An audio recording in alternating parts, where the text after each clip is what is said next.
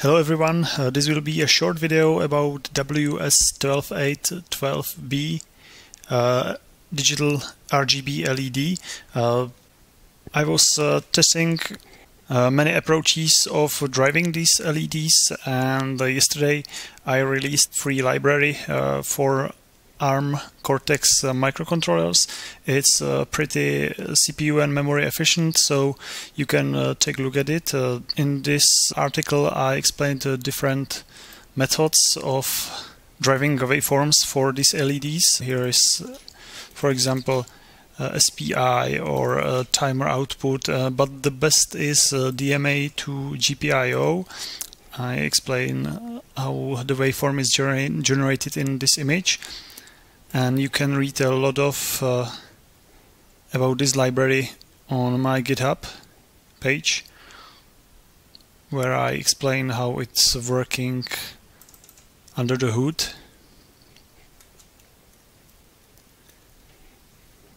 So yesterday I was finishing my library and I had this set up with uh, two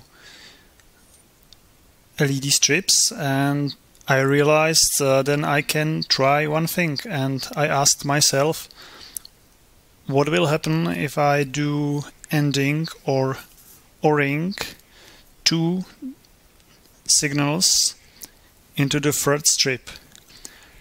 Theoretically it can work uh, but I wanted to see if it will work in practice so I created this test setup with 7400 NAND gate and another NAND gate. Uh, this one is acting as uh, AND and the second one as OR, OR gate. So this is my setup. Uh, I need to change exposure exposure a little bit so you can see the colors clearly. So uh, these these two LED strips are the input strips and this one is the output and now I try to connect uh, this NAND gate, sorry AND gate uh, to the output strip.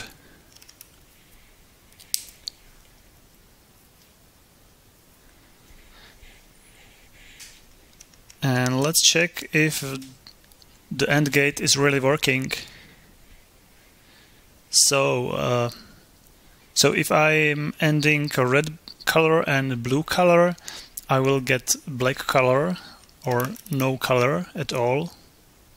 Because these two colors have nothing in their bit representation in common. So this is why the output uh, LED is black. Then this is yellow this is cyan and yellow and cyan color has green color in common. So the AND is working really.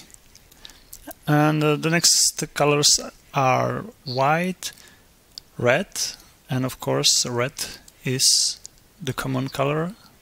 Uh, this is magenta and yellow. And again, the red is common color of these two. Then we have white, white, of course, is white. And the red and green uh, colors, they're and representation gives us black pixel, nothing. So now I will change this switch to OR gate and see what uh, colors will come out of it. And again it's working. Let me tune the exposure a little bit. So if I combine red with uh, blue I get magenta. If I combine orange with cyan, I will get white. And another three colors gives always white. And if I do or logical OR on red and green, then I get the yellow. And it's working perfectly as it should uh, with this cheat sheet. Now I try to explain why this works.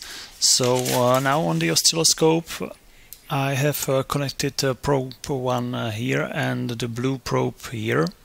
so on the both outputs. And each LED needs uh, 24 bits uh, to display a color. So you can see first 8 bits uh, which are short, shorter pulses, which means 0. Uh, this one is longer, this is a logical 1 bit.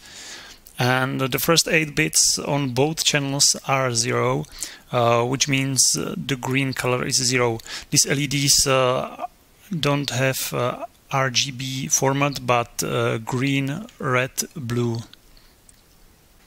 The first LED has uh, red color in here and on the second channel the first, first LED has blue color So here you see 8 bits of zeros. Then in the next 8 bit of red color you see some bits are on. Uh, it's not full 255 because uh, that will be really bright so I gave some lower value here and there is 8 uh, zeros for blue color.